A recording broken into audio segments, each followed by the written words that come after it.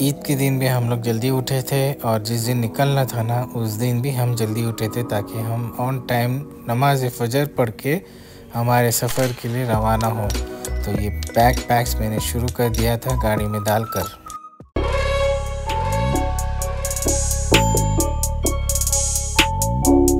Guys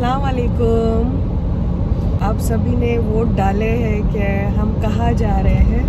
हम जा रहे हैं किंगडम ऑफ़ सऊदी अरेबिया।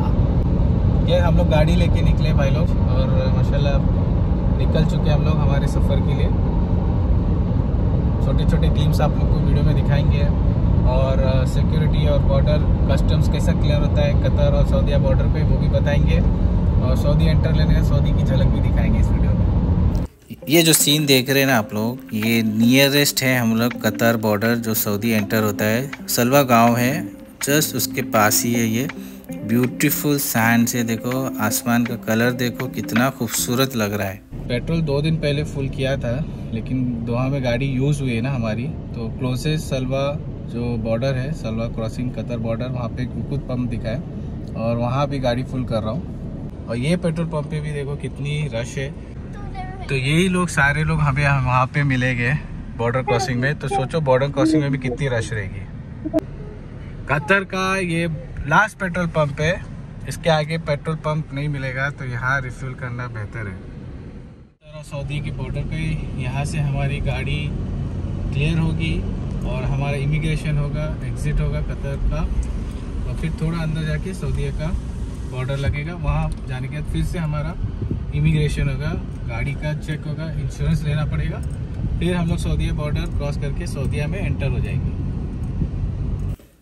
तो ये जो देख रहे हैं ना, ये कतर का इमिग्रेशन चेक पोस्ट है जीसीसी की लाइन अलग है अदर नेशनलिटीज़ के लिए भी लाइन अलग है। यानी आप कोई भी लाइन में जा सकते हैं, पर आपको जीसीसी की लाइन को अवॉइड करना है। तो सरजमीन सऊदी अरबिया को हमारा सलाम। अस्सलाम वालेकुम तो ये है सलवा पोर्ट। सऊदीया में एंटर होके सलवा इमिग्रेशन चेक क्लियर करेंगे।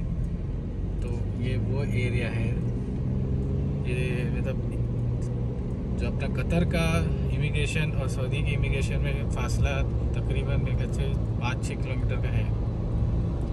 तो पाँच छः किलोमीटर में कोई एग्जिट नहीं है क्योंकि बाजू में ना फेंसेस लगे हुए हाईली प्रोटेक्टेड एरिया चारों तरफ़ सीसीटीवी कैमरास भी। और वो लोग मॉनिटर कर रहे हैं कि कितनी गाड़ी किधर तक पास हुई है। ये हमारा फ़र्स्ट टाइम रोड ट्रिप है। उत्तर का बॉर्डर क्रॉस करके सऊदिया जाने का। तो फिंगर प्रिंटिंग होता है क्योंकि वीज़ा भी हम लोग ने अभी रिसेंटली निकाले ना। तो फिंगर प्रिंटिंग के लिए एक अलग पासपोर्ट कंट्रोल सेंटर है इनका। यहाँ पे आके गाड़ी साइड में लगा के फिंगर प्रिंटिंग करना है। ये देखो, ये वो एरिया है भाई लोग। तो ये जो है, यहाँ पे हम लोग का फिंगर प्रिंटिंग हो गया है। पासपोर्ट के साथ वीज़ा चेक किया और एक स्लिप दिया है। ये स्लिप हमें जो नेक्स्ट फ़ेज़ ऑफ़ मूवमेंट है, वहाँ पे दिखा सऊदी में एंटर होना है। तो फिंगर प्रिंटिंग जैसा हमारा कंप्लीट हुआ ना तो हम हमारी गाड़ी जो इमिग्रेशन होना था सऊदीया का वहाँ जा रहे थे। ये उसके बाहर का नज़ारा। ये है सऊदीया का टर्म्स अब ये हम लोग क्लियर करने आ रहे हैं। यहाँ पे ना कस्टम चेक होगा और मैंने अपनी गाड़ी कस्टम चेक के लिए ओपन करके रख दिया हूँ। बारी बारी पुलिस लोग आते तो वहाँ पे हम लोग का कस्टम चेक हुआ। पुलिस वाला आया। मैं वीडियो नहीं निकाल सकता था। उसने बैग खोल के देखा हाथ लगाया। ये लगो। और वहाँ पे वो पोर्टर सर्विस थी, वो टिप मांग रहा था। फ्री सर्विस थी हालाँकि में। अब वहाँ से हम निकल कर, ये जो जगह है, यहाँ पे मेरे को ना रोड का इंश्योरेंस लेना पड़ेगा सऊदी अरेबिया का। उसकी लाइन है यार, बहुत लंबी लाइन है, देखो। सुबह से निकले, नाश्ता नहीं किया। और लकीली शोएब भाई ने ना हम लोग को ये बन लेके दिए। जो वो खुद में रुके थे ना पे सिदरा में, वहाँ से लिए। मेरा तो ध्यान ही नहीं था। अभी ये इमिग्रेशन क्लियर करने में इतना टाइम लग रहा है बॉर्डर क्रॉसिंग में टाइम लग रहा है तो अब भूख लगी है। तो हम लोग खा रहे हैं, बन पाओ। थैंक यू शोभ भाई हाँ ना, उन लोग की गाड़ी ना आगे उन लोग के पास ऑलरेडी यानी उन लोग जो वीज़ा है उस पर ऑलरेडी ट्रैवल कर चुके थे ना तो उन लोग का फिंगर प्रिंटिंग नहीं हुआ था। हमारे को फ़र्स्ट टाइम था, यानी वीज़ा नहीं निकाले थे, और फ़र्स्ट फ्रेश वीज़ा थी तो फिंगर प्रिंटिंग ज़रूरी थी। उन लोग ने वो लाइन बाईपास कर दिया, और उन लोग आगे हमारा वेट कर रहे हैं। चाय पी रहे थे रास्ते में खाते खाते जा रहे हैं। ये बॉर्डर क्रॉस करने के लिए टाइम लग रहा है क्योंकि आज ईद है ना, और ईद के टाइम में काफ़ी लोग निकले अपने प्लान के। और ये लोग के ना जनरली रिलेटिव्स भी है सऊदीया कतार, दुबई लोग आते जाते रहते हैं इन एंड आउट तो इसीलिए थोड़ा सा टाइम लगा हम लोग को क्लियर करने बॉर्डर यहाँ पे है ना दो लाइन है, एक है इंश्योर्ड कास्ट की और एक है अन इंश्योर्ड कास्ट की। तो जनरली ये इंश्योर्ड कास्ट वो लोग के लिए जो ऑनलाइन करा के आते हैं और अन इंश्योर्ड कास्ट की लाइन ये है, जो लाइन में वेट करके इंश्योरेंस लेना चाहते हैं सऊदी एंटर होना चाहते हैं। तो ये लाइन है ना इंश्योरेंस की है। अभी हम लोग चेक करते हैं, कैसा देता है। अस्सलाम वालेकुम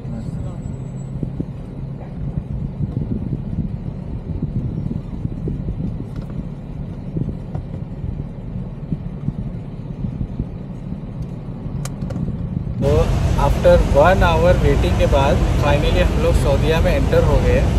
और आप लोग के लिए एक छोटी सी टिप कि इंश्योरेंस अगर ऑनलाइन लोगे तो बेहतर है। उसका प्राइस थोड़ा सा ज़्यादा है। आप ऑनलाइन चेक कर सकते हो कितना है। अगर इंश्योरेंस ऑनलाइन नहीं है तो मैंने यहाँ पे किया कतरी रियाल में हंड्रेड एंड ट्वेंटी रियाल।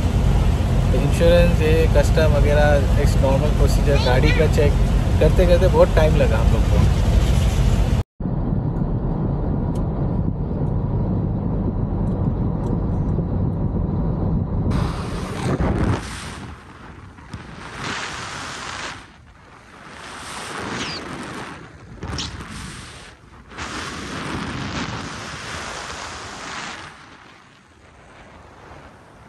सफ़र इतना लंबा है, मैंने अपनी गाड़ी में क्रूज पे डाल दिया।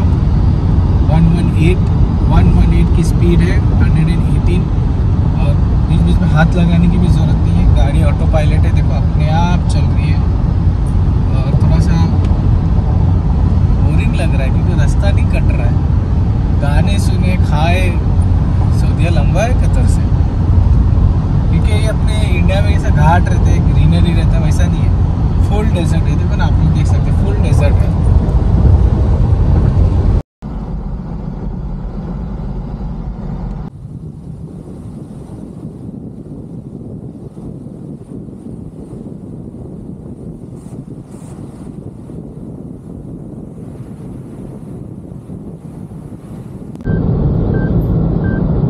हम लोग का जर्नी अभी भी जारी है और हम लोग ड्राइव करते ही जा रहे हैं, करते ही जा रहे हैं और है ना डेजर्ट ख़त्म ही नहीं हो रहा है। यानी सिटी कब आएगी generally it takes time you know हम लोग निकले थे सुबह में और अभी बज रहे हैं नौ। सऊदीया तो एंटर हो गया है, लेकिन ये डेजर्ट पास करना बहुत मुश्किल है क्योंकि यहाँ पे स्पीड लिमिट है हंड्रेड एंड ट्वेंटी कैमराज भी है। और दूसरा, आप ज़्यादा फास्ट भगाओगे ना तो आपकी गाड़ी के लिए भी अच्छा नहीं है। फैमिली है ना हमारे साथ। देखो, बच्चे लोग पीछे सो रहे हैं। शाइस्ता भी आराम से है, माशाल्लाह। एकदम खैरियत से जा रहे हैं हम लोग। स्लो एकदम। ज़्यादा फास्ट नहीं। शाइस्ता बोलती नहीं तो मेरे को चलाने को दो। मैं थोड़ी स्पीड बढ़ाता हूँ तो बोलती मेरे को चलाने को दो, मेरे को चलाने को दो। अरे तुम मत चलाओ, मैं चलाऊँगा आराम से। अपने इंडिया के से घाट वाट नहीं है। पूरा स्ट्रेट रोड है एकदम सीधा रास्ता है। मतलब अगर कैमरा नहीं होता ना, भाई लोग तो मस्त भगा सकते थे गाड़ी, लेकिन 120 की लिमिट भी ठीक है भगाने के लिए वो जो वो जो मीटर वो जो अ, क्या बोलते हैं स्पीड लिमिट वाला ना वो तोड़ के गए होते आगे। बिल्कुल। और हम लोग ने ना फ्रूट्स भी लाए थे हाँ। तो फ्रूट्स खाते खाते गए। तो हम लोग ने छोटा मोटा स्नैक्स ले लिया था वही खा के। चल ही रहे चल ही रहे। निकले हैं हम अपने सफ़र पे। बस रास्ता नहीं कट रहा है हमारा। ये सफ़र बहुत लंबा है। ज़िंदगी बहुत है लंबी कम वक्त वक्त नहीं है हमारे पास। क्या डायलॉग मारा ना? एनीवेज सा पिक्चर नहीं ये फुरकान शेख का डायलॉग एनीवेज और थोड़ा बहुत नज़ारा आप लोग देखते जाओ। और आप लोग भी प्लान करो जो लोग कतर में हैं। मेरे ख्याल से मोस्ट ऑफ़ द लोग ने प्लान कर चुके होंगे। जो नए व्यूवर्स हैं उन लोग जो देख रहे हैं मेरा वीडियो कतर में आप लोग गाड़ी है तो प्लान करो भाई सऊदी का ट्रिप बहुत ज़बरदस्त है। पीछे ना कैमल्स दिखे हम लोग को लेकिन थोड़ा दूर है।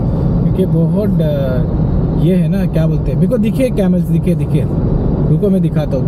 हाँ हाँ वो देखो दूर है गाइस